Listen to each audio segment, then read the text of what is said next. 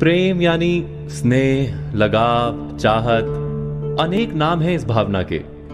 हम सब किसी ना किसी से प्रेम करते हैं। माता पिता से, प्रेसी से, या पत्नी से, संतानों से, परिवार या मित्रों से। माता पिता से हमें सुरक्षा प्राप्त होती है। पत्नी या प्रेसी से आधार प्राप्त होता है। संतानों से अभिमान और परिवार तथा मित्रों से संतोष मिलता है। अर्थात जीवन में सारे सुखों का अनुभव हमें प्रेम से ही प्राप्त होता है। और फिर भी, वही प्रेम का संबंध सदा दुख का कारण बन जाता है।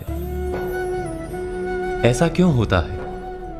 प्रेम का स्वाद भी कभी मीठा तो कभी कड़वा क्यों लगता है?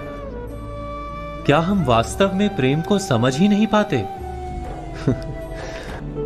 इसे समझने के लिए हमें स्मरण करना होगा प्रेम या चाहत के अनुभव का? क्या विचार चलते हैं हमारे मन में, जब हम किसी से प्रेम करते हैं?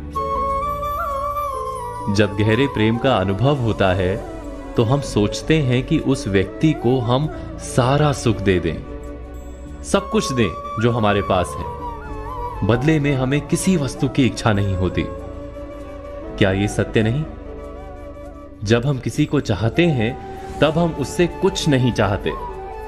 प्रेम वास्तव में उस संबंध को कहा जाता है, जिस संबंध से हमें कोई आशा, कोई चाह, कोई मांग ना हो। जैसे ही कोई मांग मन में प्रवेश करती है, वैसे ही प्रेम हृदय से विलुप्त हो जाता है, चला जाता है।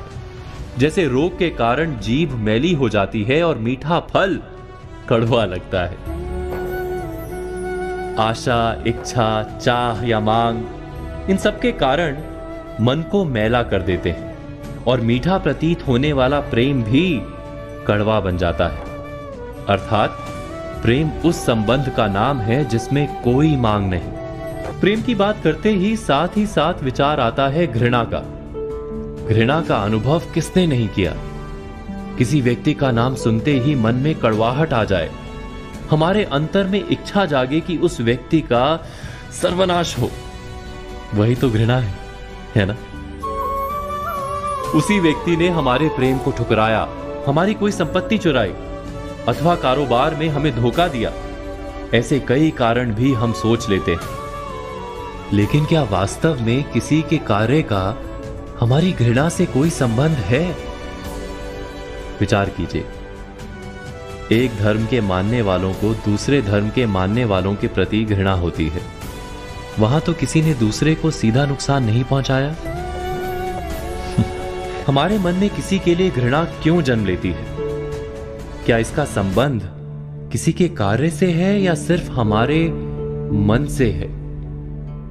विश्व के सारे धर्म तो प्रेम और शांति का संदेश देते हैं, है ना? वास्तव में जब कोई प्रेम संबंध तोड़ता है तो हमें डर लगता है कि हम हम जी नहीं पाएँगे।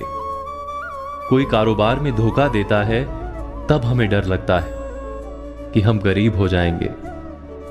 किसी दूसरे धर्म के मानने वाले को जब मिलते हैं तो हमें भय लगता है कि हमारी श्रद्धा डगमगा ना जाए। अर्थात, हमारी घृणा का संबंध किसी की मान्यता अथवा कार्य से नहीं जुड़ा है। वो केवल हमारे हृदय के भय अथवा डर से जुड़ा है। जिसके हृदय से डर चला जाता है, जो पूरी तरह निर्भय हो जाता है, वो किसी से भी घृणा कर ही नहीं सकता। और डर के पार जाना अनिवार्य है, क्योंकि डर वो दीमक है, जो मनुष्य की आत्मा को खा जाता है। इस सब पर आप चिंतन, मनन, विचार अवश्य कीजिएगा।